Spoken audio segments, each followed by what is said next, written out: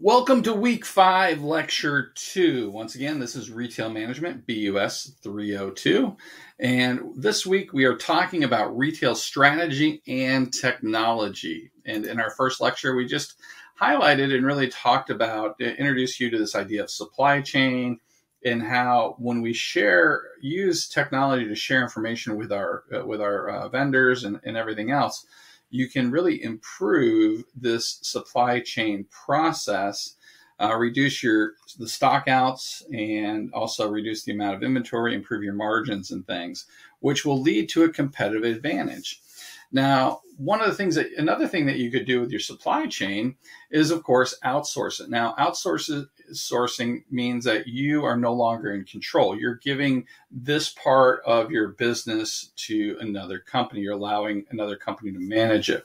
So when we outsource, sometimes we'll use public warehouses or freight forwarders as far as shippers and things. Now, um, Target is there's distribution centers, Target distribution centers around the country as well right? But they do use freight forwarders. They actually allow um, use more third parties to do their shipping than instead of having their own um, instead of having their own trucking company and everything else. So again, Walmart manages everything themselves. They own the trucks, they have the driver, all those kind of things, right? Um, and as a matter of fact, when I was working for Walmart in Martinsville, Virginia, there was a Cannon fa- uh, towel factory not too far from our store. And what would happen is um, the Walmart distribution center would send product to my store and we would unload it so we'd have an empty trailer. And then what the driver would do is they would take that empty trailer over to the Cannon factory and put it at the Cannon factory. And Cannon, the, the towel company, they would load up all their product on those trucks uh, the empty trailers, and then the driver would then pick up that uh, trailer now with product from the vendor and drive it back to the to the distribution center where it would be broken up and then sent to right. So Walmart did everything themselves as much as possible because it controlled costs. This is where we use freight forwarders and public warehouses where we have third parties. So, like a JB Hunt or an independent truck driver will pick something up at a um, at a manufacturer and drive it to a Target distribution center, or at time, or they will pick up a Target uh, trailer and drive it to the Target store. Right. So, this is where you've got third parties coming in. Now, one of the reasons you do this it does help lower some costs, right? So you can do things as uh, at a lower cost. Another thing is, you know, this is where you got you don't want to drive an empty uh, 53 foot uh, semi trailer, right? That that's just silly because as you you know it, it's it's harder to control with the wind and everything else. But on top of that, um, it's just kind of a waste of money. So if you can find a way to fill a truck uh, on the bat to come back, right, like at the Cannon factory, that's going to reduce your costs as well, right? So, and the other thing when we start thinking about it, you know, a retailer should be really good at selling product, not doing maybe trucking, right? So depending on um, some of these areas, it, you know, a retailer might not, that might not be their best thing. So they can actually lose their com- competitive advantage uh, if they're trying to do it and they're not doing a great job. But if you have a third party doing it, once again, you are out of control. You don't have control of that. So that can also affect your system and everything else. So this is one of those where you have to think both sides and say, is this how much is this going to help or hurt me? Okay. So again, when we start thinking about designing our supply chain issues, are we going to outsource? And is our supply chain going to be push or pull? Now, when we have a pull supply chain, that means that the store is going to be ordering product and saying, hey, this is what we need. Can you send it to us? This helps reduce overstocks. It also helps reduce out of stocks, helps increase inventory turnover because the um, technology saying, hey, this is how many you're selling per day. This is how much your store, your shelf can hold. This is when you should order. Right? All these things are done electronically. That's a pull supply chain where it's coming at the store level. A push supply chain is where merchandise is allocated to a store based on forecasted demand. Hey, we think you're going to need this. Now, uh, again, Walmart you, actually Walmart uses a pull supply chain. Uh, a lot of retailers will use the push supply chain where they'll allocate based on some sort of forecast. That push supply chain can hurt you, uh, especially if you have a if you have a vendor that needs to get merchandise out. They sometimes will fill their supply chain. They'll they if they overstock on something, they may push out a bunch, um, which could clog your store and give you too much inventory and everything else. Um, and one company that did that was really notorious for doing this uh, used to be well, at least it was. They used to be really bad about doing this. Was Revlon, the makeup company? They would send so much makeup because they had so much of it that, that you know you'd have hundreds of products overstocked, and you wouldn't know what to do with it. So that push supply chain can hurt you as well. Right. Now, one of the really cool things, and again, this is a trend right now in, in designing, this is something I think is the really uh, coolest thing is these things called radio frequency identification tags or RFID. So, an RFID tag is just a very simple um, product that can be picked up by a scanner. Now, uh, if you have, if any of you have like an ID badge for where you go to work and you have to scan it, right, over a scanner, that scanner says, oh, this is the frequency, this is the information tied, like it's got that UPC tied to it, everything else. But there's actually more information within that. Uh, that tag, you, you can do quite a bit with that. And so, this is where uh, companies are going. They're now starting to look at how do we use RFID tags on our merchandise. And some of the really cool things that have been done in certain parts of the country, right? So if all the merchandise has an RFID tag and you put it into a shopping cart, and that shopping cart has the reader, you can have, have a little screen on the shopping cart that says, here's the value of all the merchandise in this cart right? And so you have all the values, so you know how much how much you're gonna it's gonna cost you when you get to the front checkouts. The other thing is when you get to the front checkouts, there's really no need for them to scan anything because it's all calculated in the cart. And so that eliminates, I hate to say eliminates, but it means that we don't need as many cashiers. So again, we can lower costs some of that some way. Now, right now, cost of these tags are they say it's a, you know it is somewhat expensive. They're probably down to about a nickel a car a tag right now, um, and but as those costs continue to come down, we'll see more and more of this. You're also being you're also able to do a lot more with some of these things. Um, I remember one retailer, one grocery store retailer, uh, adding a temperature thing on their RFID for things like ice cream because customers sometimes will leave product throughout the store. And so when that ice cream got to a certain uh, certain temperature level, the RFID tag would send out a signal that would be picked up within the store, and it was like, "Hey, I'm melting," and so then management could go find the melting ice cream. So I mean, it was it's really cool technology.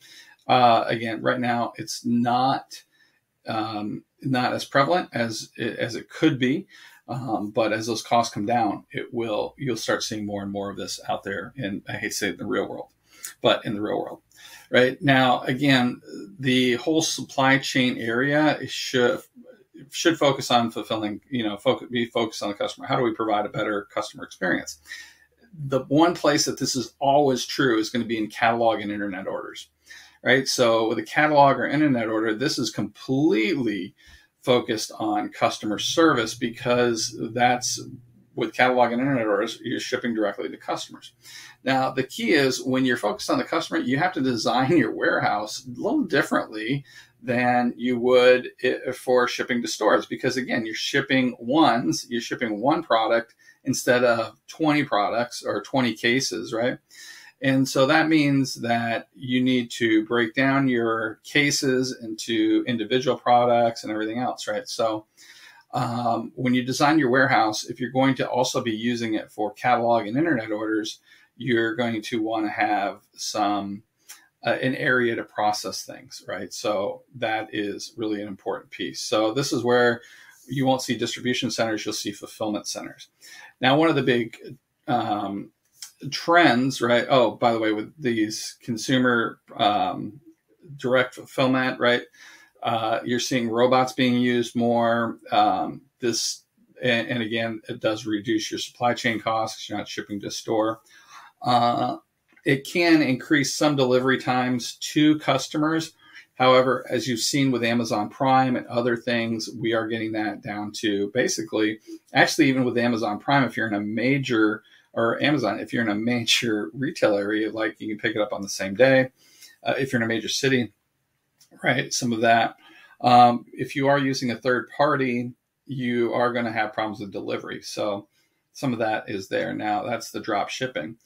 The customer uh, store pickup. This is a, one of those things now where you can order online, pick up your store, right? Um, this has been huge. Now, uh, again, as I mentioned, I worked with Walmart, and so I remember the store that I was at back in the 90s, we were experimenting with um, this idea. It wasn't pickup, we were doing delivery where customers would, uh, this will be funny, they would fax their order to the store and we would have people go through. And back in the 90s, it actually ended up, we decided as a management team, this was just too expensive. It wasn't, you know, it didn't work because we had so few people using it and everything else.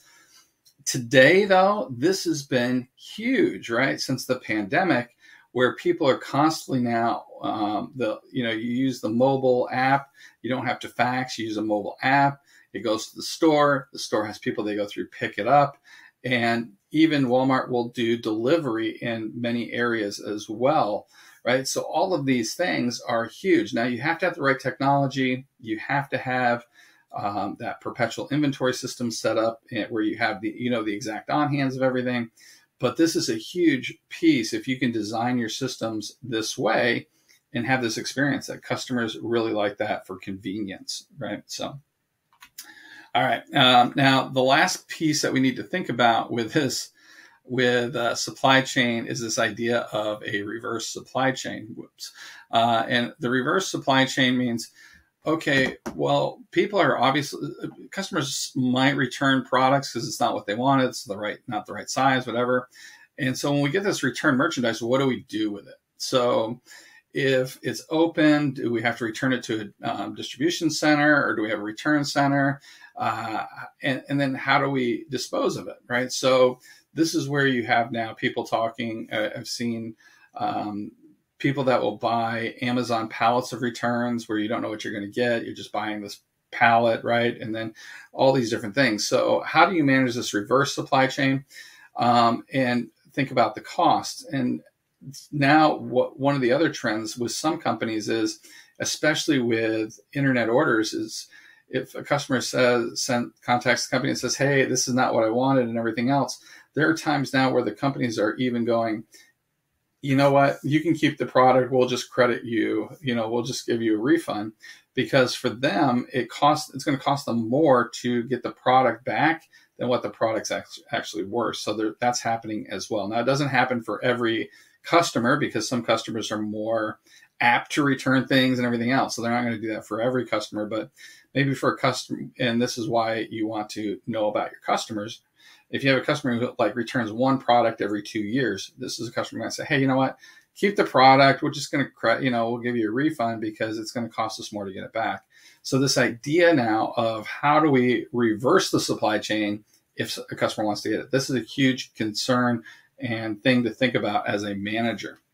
Now, as I said, you get these customers that maybe only return things once every few few years or something. How do you track that? Well, you have to have some sort of customer relationship management system, right? So when we talk about customer relationship management, you have to have some sort of strategy or program that will help you build relationships with your customers. That way, you get a higher share of their wallet, right? So, and we talk about a share of wallet. So, the wallet is how much a customer is going to purchase over the course of the year, you want as much of that wallet as possible. And so that's one of these things. Our customer relationship management system is designed to help you do that. So the goal of the CRM system is to create loyalty. So this is where we have somebody that's committed to us, right?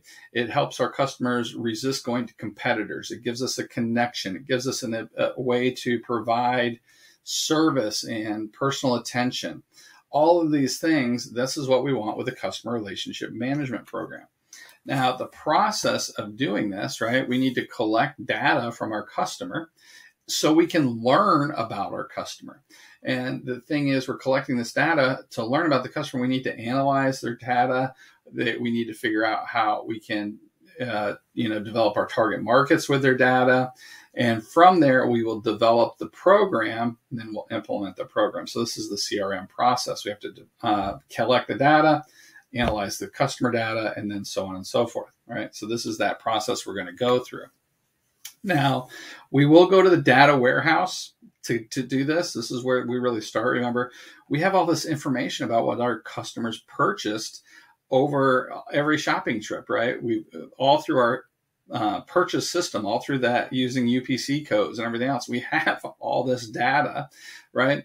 And if a customer is using like our credit card system, uh, then we have even more information. We can we have more contact information. Even if we, they don't use our credit card system, anytime somebody pays with a check, it's noted in our system, so we can can, can break that down information. Right, we can get uh, customer preferences. We get more descriptive information. As all these systems get linked and linked and linked, we can cl- create these huge databases. Now, uh, by the way, just as a side note, um, you know, we talk about the uh, the NSA from the federal government, the National Security uh, you know, Administration, and the CIA, Central Intelligence, all these areas, right? These organizations have huge databases, huge data warehouses that where they're constantly collecting information. So they, they have the biggest data warehouses in the world, right? The uh, the NSA and the CIA and all that.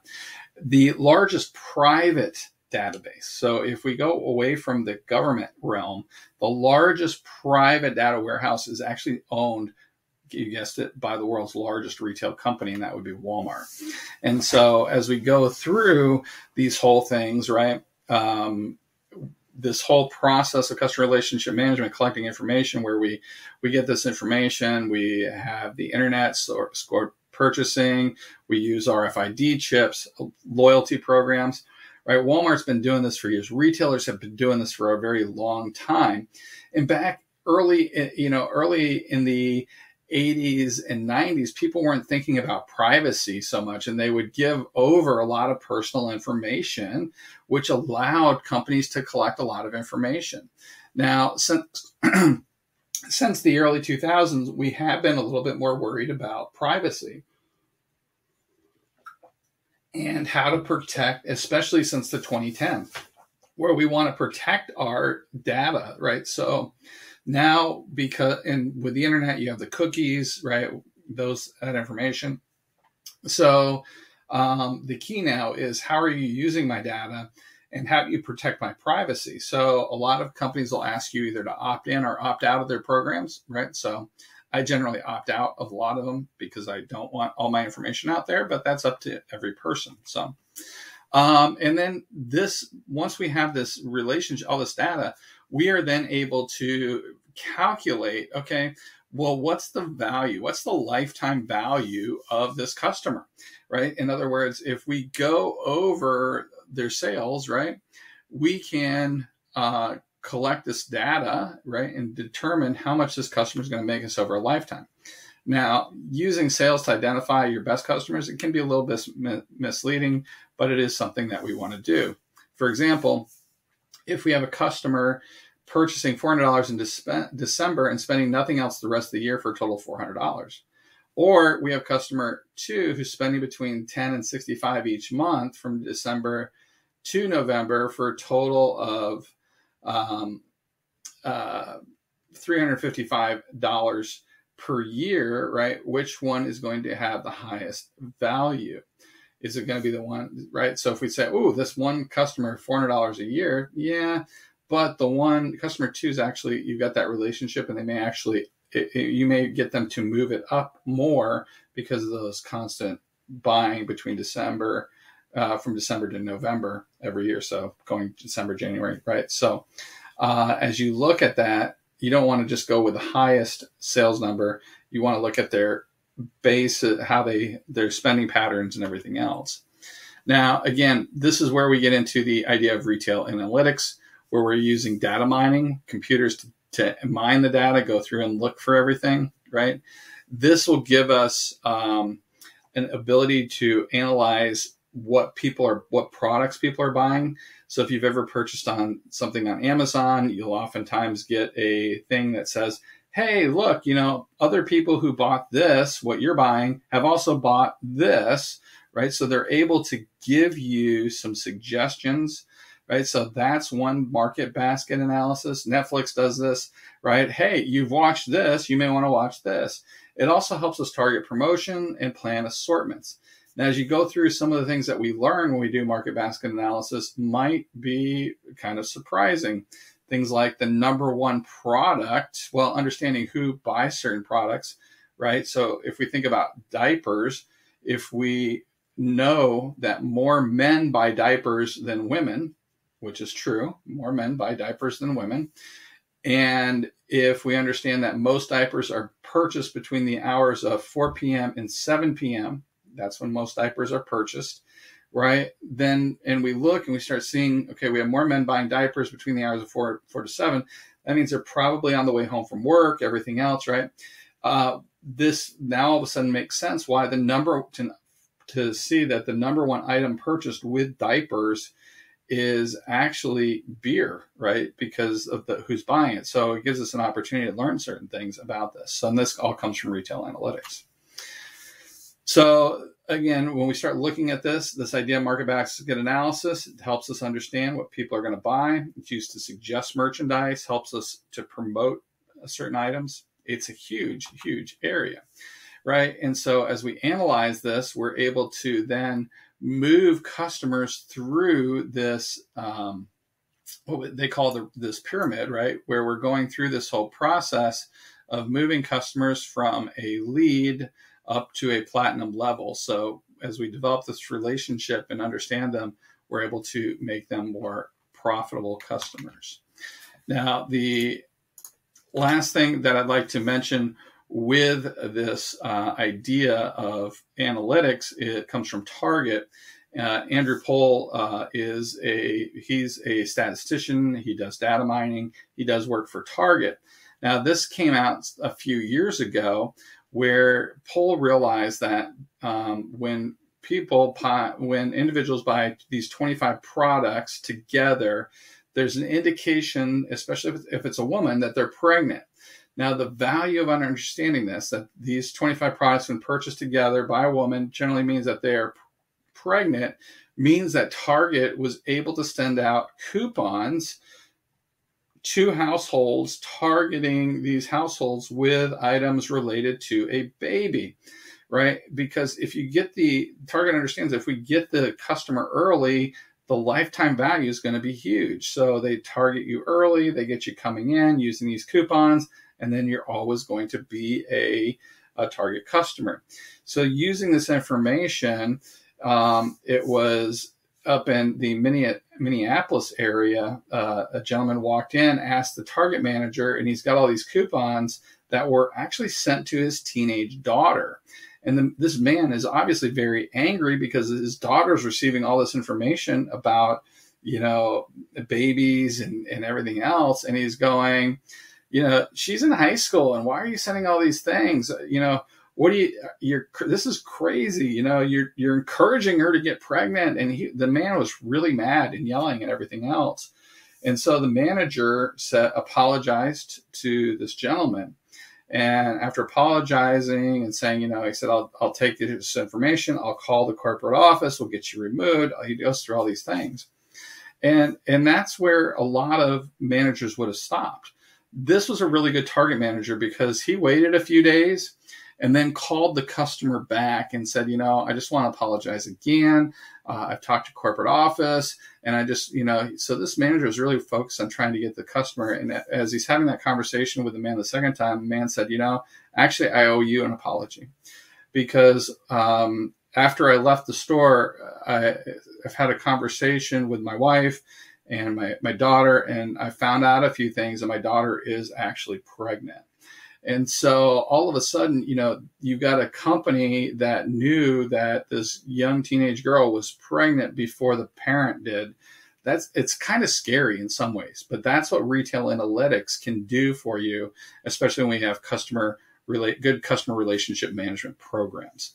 And so that brings us to the end of the second video for this week, and we will uh, move ahead in our next video.